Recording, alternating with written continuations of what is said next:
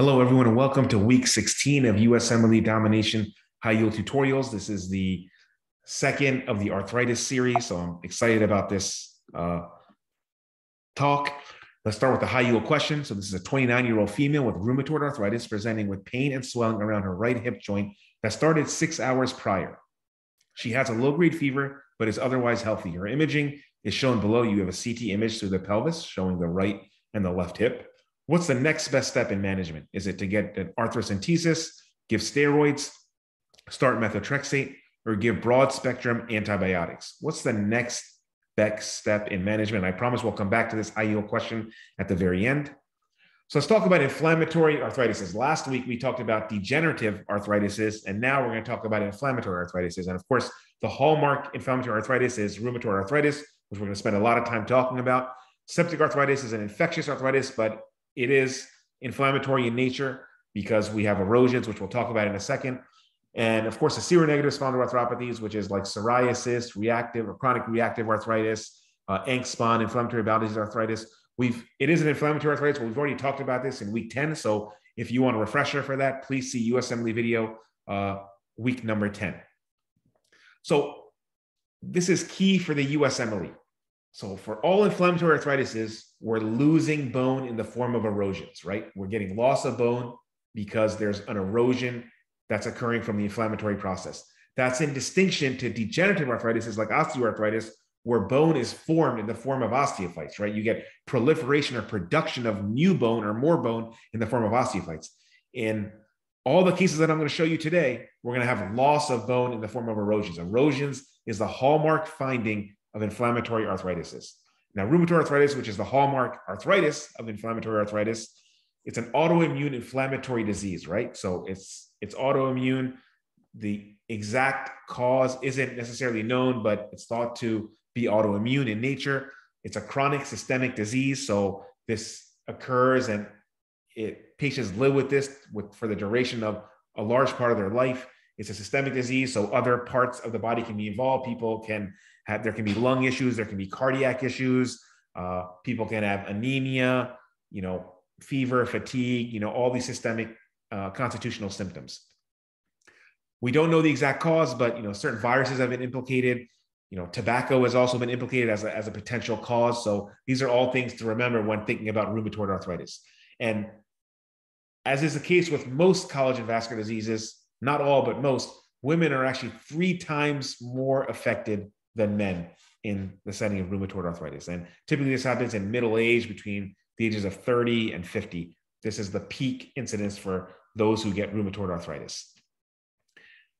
The key in terms of the presentation is that you get symmetric pain and swelling of joints. So it's typically bilateral. Typically, the same joints are involved in on both sides of the body and this concept of morning stiffness, which is so key, right? So in rheumatoid arthritis and in all inflammatory arthritis, is the pain is worse in the morning and gets better throughout the day. That's in distinction to degenerative arthritis like osteoarthritis, where the pain is worse with activity and gets better with rest. Very important for reading question stems for the USMLE. There's constitutional symptoms like fever, fatigue, weight loss, which you wouldn't expect in degenerative arthritis. And often, in terms of laboratory values, RF is typically positive anti-cyclic citrullinated peptide antibodies typically positive, and that's the anti-CCP antibody is more specific than RF when we're talking about rheumatoid arthritis. And when I talk about the imaging here, let's talk and focus more on the first at the normal left wrist. So if we take a look here at the radiocarpal joint between the radius and the proximal carpal row, which consists of the scaphoid, lunate, triquetrum, there's a normal joint space. We don't see any erosions. We don't see soft tissue swelling. Uh, we don't see any osteopenia around the joint or decreased mineralization. This is a normal appearance of what a normal wrist should look like. If we contrast to the wrist here on the right side in the patient with rheumatoid arthritis, notice that the joint space is narrowed and the entire joint space is narrowed. The entire radiocarpal joint space is narrowed bilaterally. It's the bilateral symmetric process. And the it's not just part of the joint space that's narrowed, the entire joint space is narrowed. And you have all these lucencies or all these, you know, darker areas within the bone. These are erosions. So you can see that here, here, here, I mean, literally everywhere along the proximal carpal row, you have these erosions, right? So again, erosions is the hallmark finding of rheumatoid arthritis and all inflammatory arthropathies.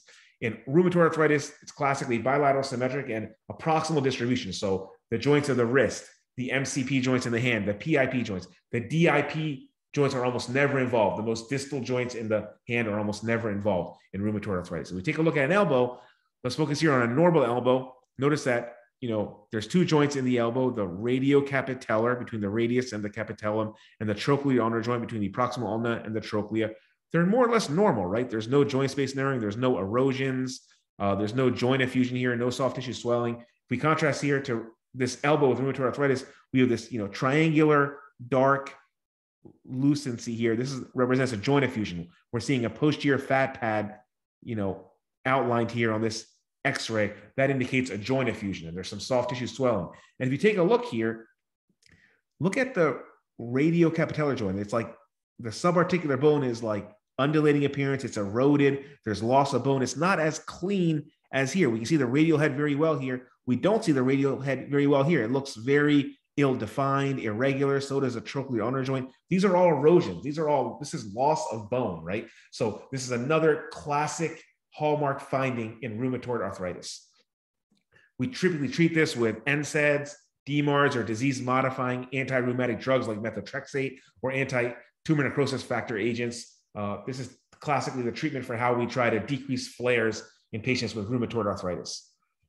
So as a bonus question, you know, let's say there's a 31 year old female with rheumatoid arthritis that's gotten no relief from NSAIDs for her joint pain. Before prescribing methotrexate, what lab test should you order? Should you get a basic metabolic profile, an ESR, liver enzymes, or a TB screen? And of course, we know the answer here is liver enzymes, super high yield for the USMLE because methotrexate can lead to hepatic fibrosis, okay, and cirrhosis, quite frankly, right? So you want to make sure that you check liver enzymes to avoid that complication.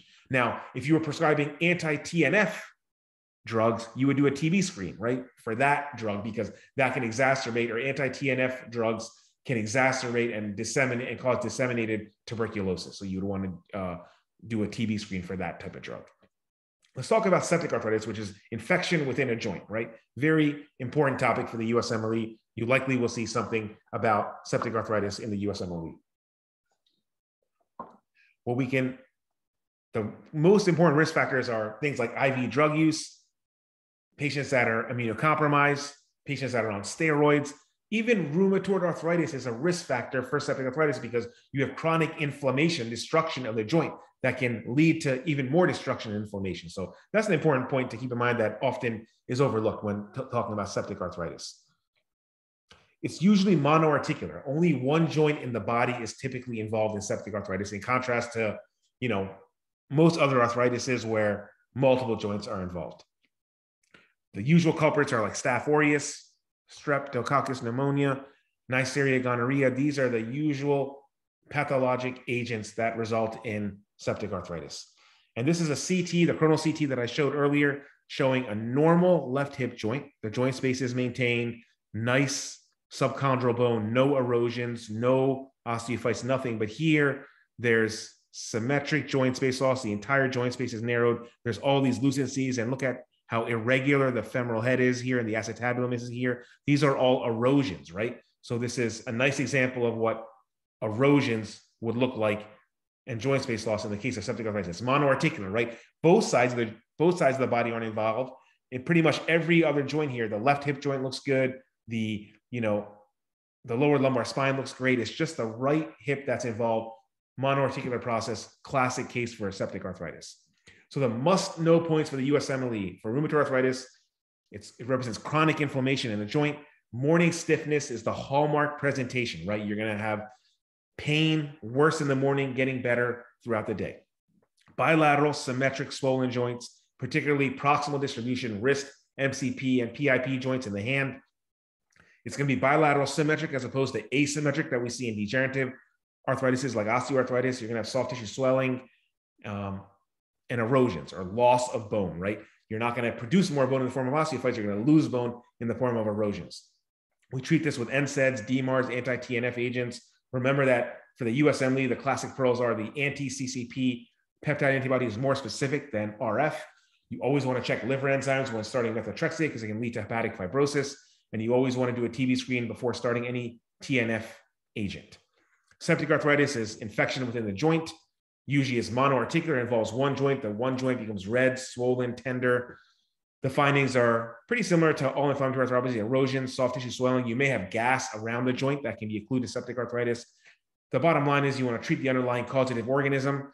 And the first step is always going to be an arthrocentesis. You always want to tap the joint as a first step on the USMLE. Let's come back to this question. So, a 29 year old female with rheumatoid arthritis presents with pain and swelling around her right hip that started six hours prior. She has a low grade fever, but is otherwise healthy. Her imaging is shown below. What's the next best step in management? So, first of all, this is a young person, 29 year old with rheumatoid arthritis. You may think this is a rheumatoid arthritis question, but remember that RA is a risk factor for septic arthritis. That's an important point, right? So the, the pain is acute, not chronic, right? It started six hours ago, okay? And she has a low grade fever. And if you take a look here, the left hip is totally normal, but the right hip is completely eroded with joint space loss. Very nice example of septic arthritis. Of course, the first step in all cases of septic arthritis is to tap the joint or do an arthrocentesis. So that's always going to be the answer on the USMLE to do an arthrocentesis. Hope that was helpful. Please tune in next week for another super high yield USMLE tutorial. Thank you so much.